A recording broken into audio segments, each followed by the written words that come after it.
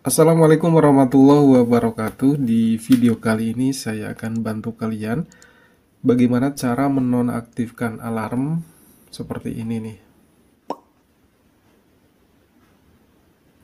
Nah, mungkin di antara teman-teman sudah mengaktifkan alarm dan sekarang ingin menonaktifkan karena merasa terganggu gitu ya.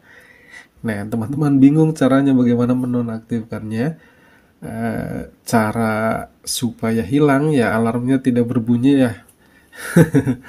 Oke akan saya kasih tahu caranya. Ini sangat simpel sekali sebenarnya teman-teman. Nah sekarang caranya adalah teman-teman cari logo aplikasi jam di handphone teman-teman semuanya. Karena pasti di setiap handphone ada ya gitu ya. Logo jam seperti ini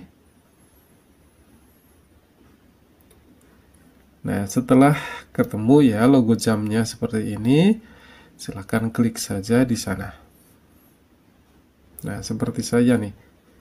Settingan alarmnya adalah jam 5, jadi sudah disetting dulu ya. Nah, sekarang kita nonaktifkan. Sekalian ingin kasih tahu buat teman-teman cara menonaktifkan alarm seperti apa. Jadi silahkan saja ini dipadamkan seperti ini. Nah, kemudian di bawah ada tulisan matikan sekali pada 24 Februari besok. Atau di bagian kedua ada matikan pengulangan alarm. Kita pilih di bagian yang terakhir pengulangan alarm ya. Nah, otomatis sudah hilang teman-teman. Sudah hilang nah logonya nih. Tadi ada ya logo jam di atas ini sekarang ya, sudah hilang.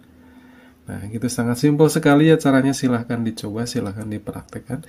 Kalau masih ada kendala, silahkan tulis saja di kolom komentar. Wassalamualaikum warahmatullahi wabarakatuh.